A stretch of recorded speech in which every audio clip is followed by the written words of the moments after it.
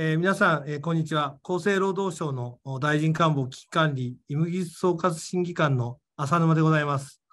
えー、昨年に引き続きまして、JH シンポジウムが盛大に開催されることを心よりお喜び申し上げます。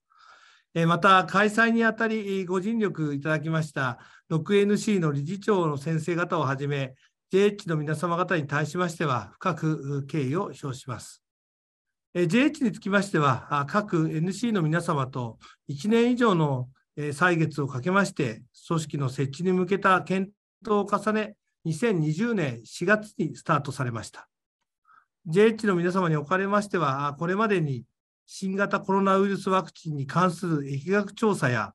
6NCEHRs の構築、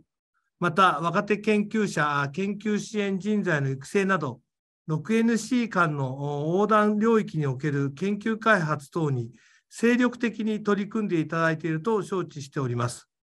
この場をお借りしまして、深く感謝を申し上げます。ありがとうございます。本年もその節目といたしまして、このようなシンポジウムを開催できたことにつきましては、6NC の疾患横断的な連携を一層深めるとともに、日本の臨床研究力の向上に極めて大きな役割を果たすものと考えております。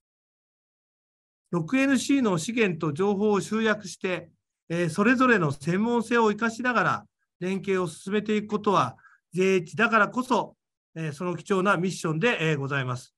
厚生労働省といたしましても、JH が引き続き有機的、機動的に連携して、え J 一層の発展につながりますよう、しっかりと支援をしてまいります。今後の皆様のますますのご活躍を記念いたしまして、